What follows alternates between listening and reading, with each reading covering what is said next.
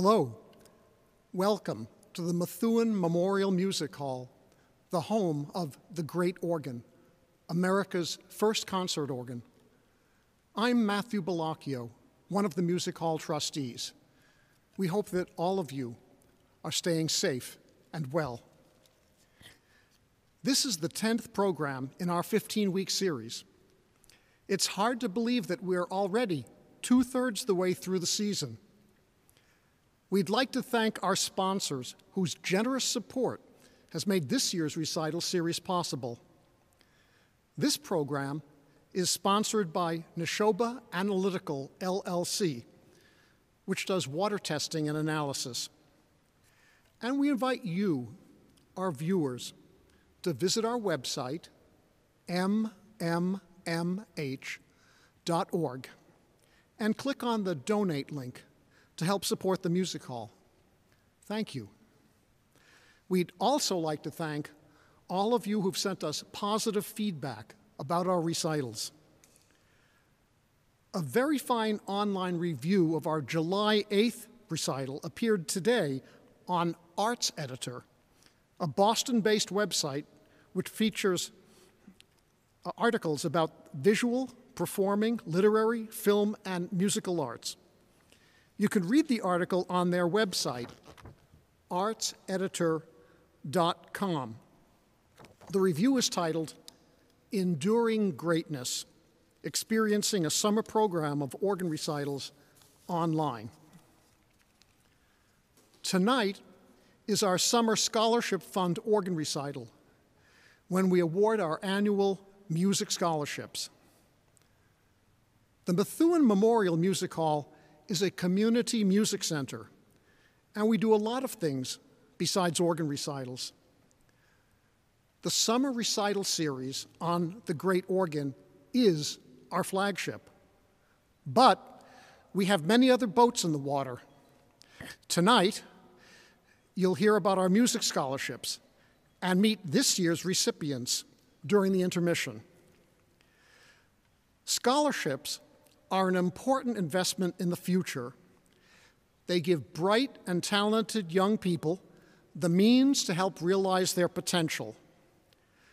By coincidence, tonight's performer, Raymond Hawkins, was the recipient of a four year, full tuition Kenan Music Scholarship at the University of North Carolina School of the Arts, where he studied organ with Dr. Timothy Olsen and graduated last year.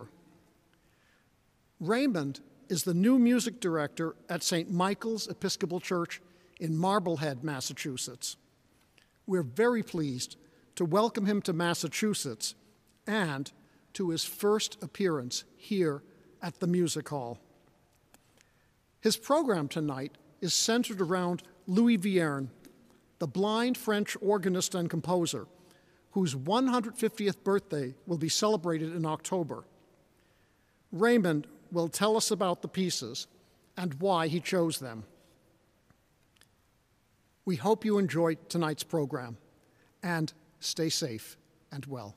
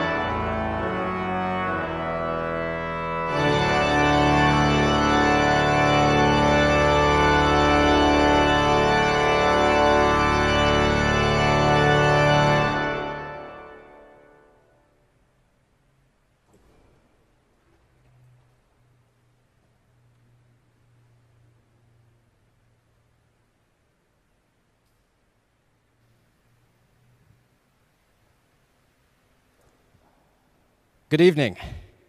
I think we can all agree that the year 2020 has not quite gone as planned. So I would like to suggest that we change the name. Uh, instead of the year of our Lord 2020, I suggest the year of Louis Vierne 2020. Uh, excuse me, the, the year of Louis Vierne 150. He's not quite that old. Um, why Louis Vierne, you might ask? Well, uh, Louis Vierne as uh, Matthew was mentioning, is uh, or was a great French composer who uh, overcame a lot of adversity over his lifetime.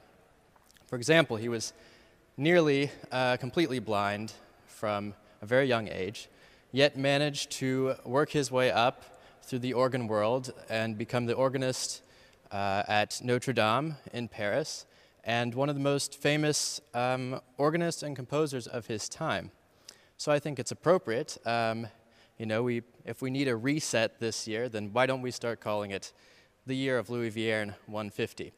Now, Louis Vierne has been one of my favorite composers um, for quite some time, but that doesn't mean I don't also appreciate the music of others, um, particularly those who were around him. Uh, so that's what tonight's program will feature. I'll be not only playing Vierne's music, but I'll also be playing music by uh, one of his teachers, one of his students, and even his brother. So, on that note, um, the next piece on the program will be the Andante sostenuto uh, from uh, the Symphonie Gothique of Charles-Marie Widor. Um, Widor was one of his teachers, and uh, this, this is a lovely piece, and as is the case with many musical compositions, uh, there's a dedication associated with this piece, or actually with the symphony as a whole.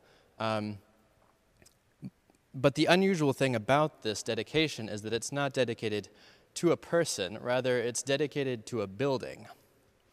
Now, I can kind of relate to this, uh, seeing as for the last four months I've more or less been in one building and uh, haven't seen very many people. But that wasn't his reason for dedicating it to a building. In fact, the building was uh, quite a special one, the Cathedral of Saint-Ouen in Rouen in France.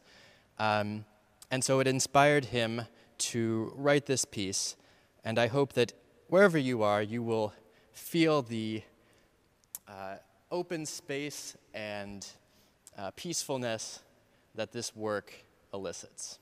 This is the Andante Sostenuto by Widor.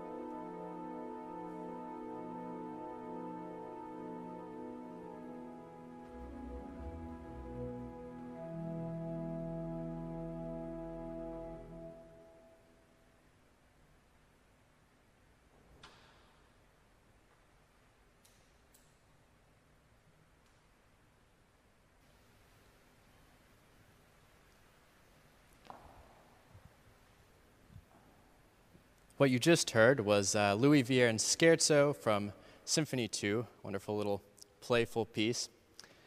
Next on the program will be something quite different. This will be by Marcel Dupré, a student of Louis Vierne, which I thought would be appropriate to play um, right before uh, some students will receive scholarships. Um, you know, it's an important, important part of our musical world, and I'm celebrating it here with Marcel Dupré's Cortege and Litany. As the title suggests, uh, this, this piece has two main sections. The first, the cortege, is uh, which cortege in French essentially means procession, um, like you might find at a church service or a, or a funeral. Um, this piece to me seems particularly funeral like. Um, and so this cortege is a slow, um, a slow theme, solemn and somber. And then once that ends, we start very softly with the litany part of the composition. A litany is essentially a prayer that's repeated over and over again, usually begging for mercy of some kind.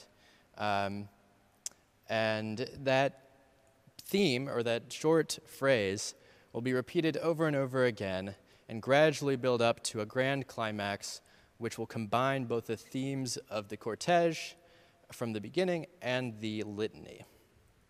So this will be um, Marcel Dupré's cortege and litany.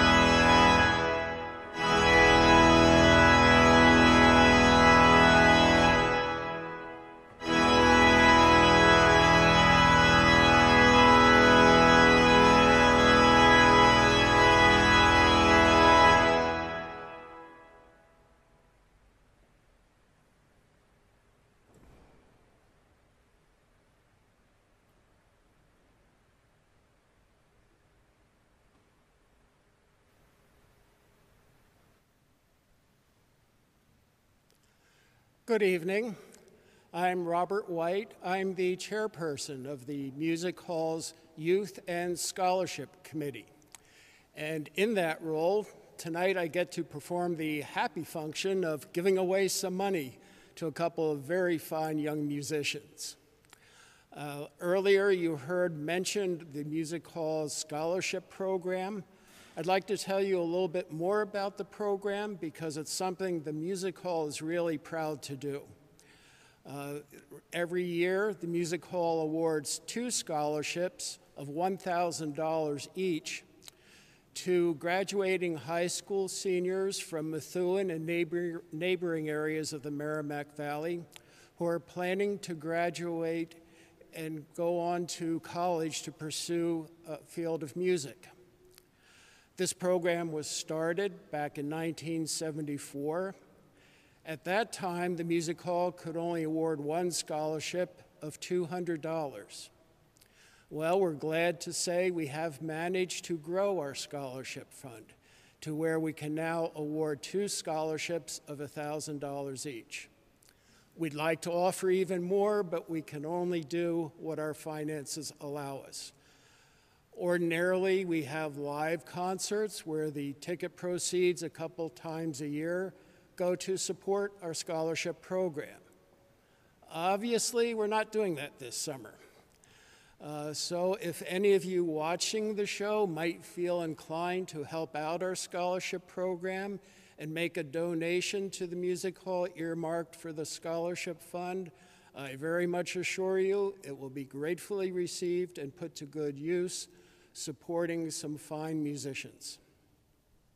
And now I'd like to introduce you to a couple of them, starting with Justin. Could you come up and join me, please?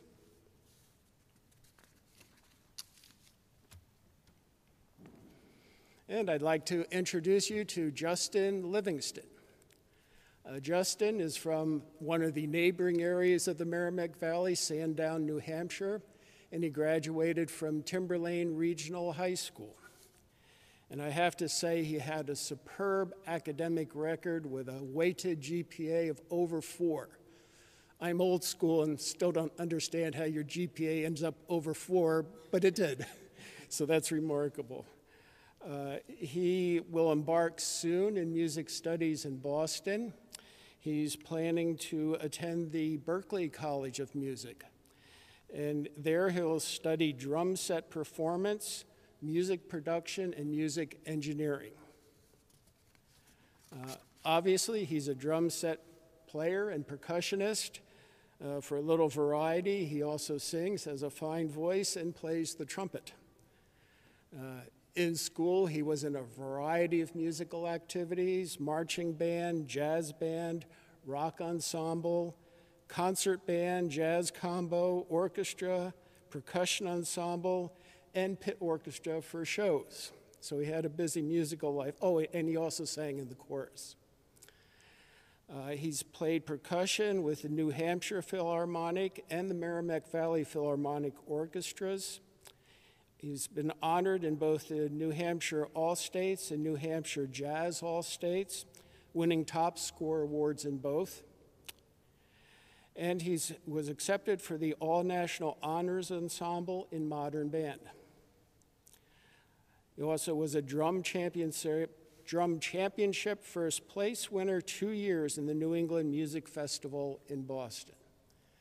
So, all these fine activities, I always like to add a few words by people who know our recipients much better than I do.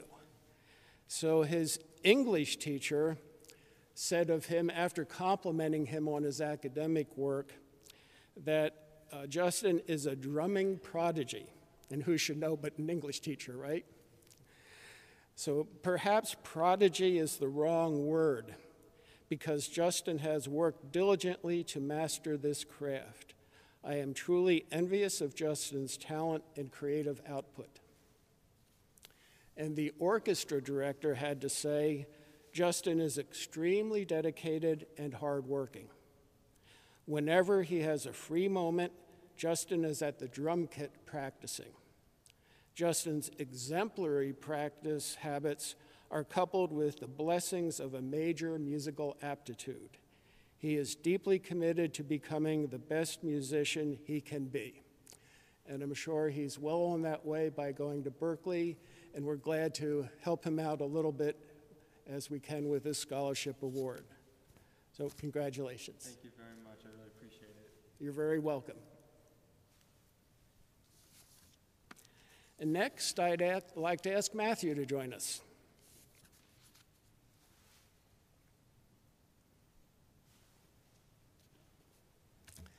And Matthew is from Methuen, our hometown here, having graduated from Methuen High. And also superb academic accomplishments. It always amazes me how these young folks can do so much in their musical activities with all their practicing and performances and still achieve the fine academic records that they do. But both of our young gentlemen here tonight did exactly that. Uh, as it turns out, Matthew also will be attending Berklee College of Music in Boston, and he will be also going there as a drum set player. Uh, he, he will be majoring in music performance and film scoring. Uh, so, as a drum set and percussionist, he also was engaged in a range of musical activities in school, Again, marching band, symphonic band, jazz band, and a percussion ensemble. And he too was a singer in the school chorus. So we have both drummers and fine voices with us this evening. Uh, he's performed in numerous venues, including the Boston Celebrity Series, Jazz Along the Charles, and the Boston Celebrity Series Jazz Performance. Uh, he's honored as a drum set player in the Massachusetts Music Educators Association Northeastern District Youth and Senior Festival Jazz Bands, and also in the MMEA All State Jazz Band. He's a songwriter too, and he wrote a song called All Right about impacts of the pandemic uh, situation and it was featured on the NBC Boston News and more locally in the Eagle Tribune. So, to add to these fine accomplishments, I'd like to let you know that a school counselor said of Matthew, saying of Matt's playing in the Boston Celebrity Series jazz performance specifically, I had the privilege of watching him play and the energy and passion he brings to drums is intoxicating. Seeing his joy on the stage and the pacing he led for the band, it was evident to me that he has something special and that thing that separates him from the rest of high school musicians. And to this, the band director noted his natural abilities, intuitiveness, creativity, and drive for excellence place him over the top every time. He is, without a doubt, an excellent performer and an excellent stage presence. His performance skills in the ensemble are some of the best I have ever seen in my career. He is truly a dedicated and motivated individual. So it's with great pleasure that we present our second scholarship to Matthew Ricchetti. Thank you very much. Appreciate that. Thank you and good luck in college.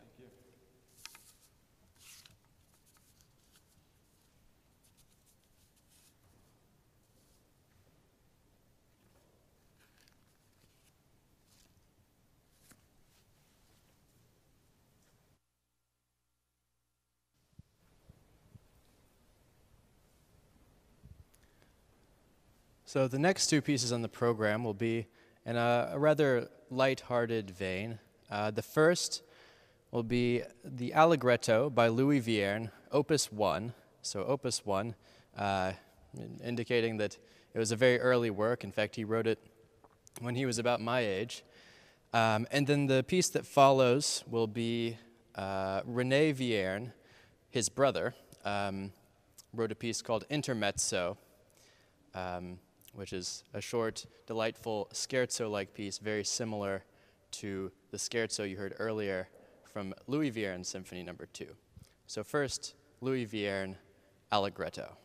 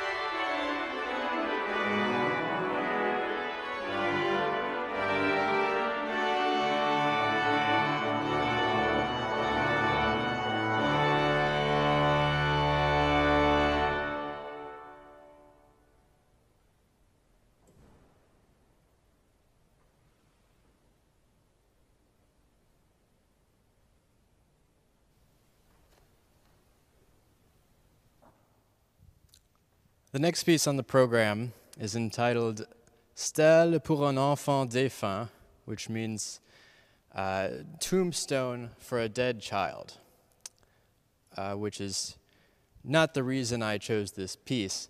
Um, it has a rather uh, historical significance in Louis Vierne's life.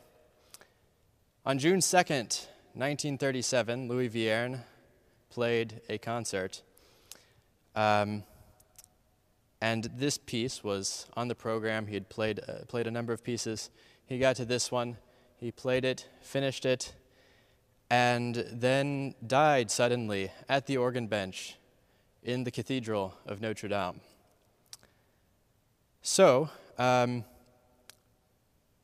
you can imagine, I, uh, as you might imagine, I'm a little nervous, uh, you know, playing this piece as to what might happen to me, um, but I'm not, I'm not superstitious, so I think we'll be fine. Um, it's a lovely piece, though, and aside from its historical significance, uh, I want you to hear it tonight. This is Stèle pour un enfant défunt from Triptyque.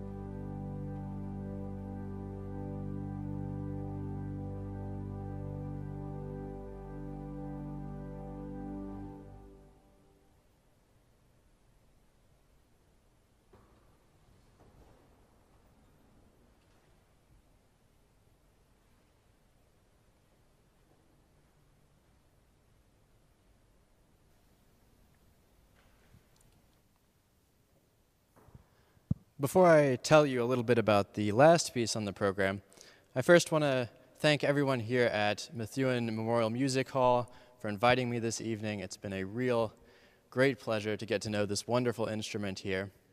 And also, I'd like to thank my roommate, uh, Thomas, who volunteered to turn my pages. Actually, I, I told him to do it. But um, anyway, thank you. The last piece on the program is uh, a, real, a real party. Um, and when I say party, I don't mean a sophisticated wine and cheese party. It's more like a, an unhinged, raucous, licentious party, um, just way out there. And, um, you know, in a way, it's kind of like all the college parties that I was never invited to. Um, but it's a fun piece, and I feel like in a time when we can't necessarily celebrate and uh, socialize together, that a fun piece like this would be a great way to end the program. So this is the last movement, the finale, from Louis Vierne's Sixth Symphony.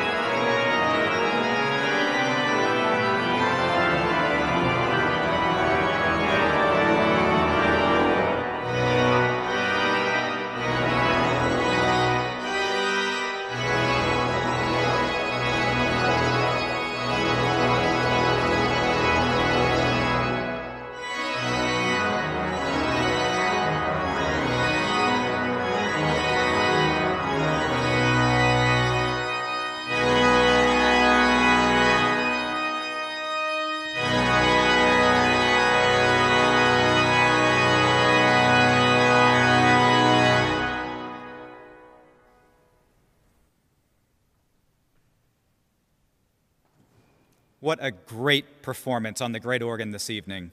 We thank Raymond for bringing his talents to share with us all.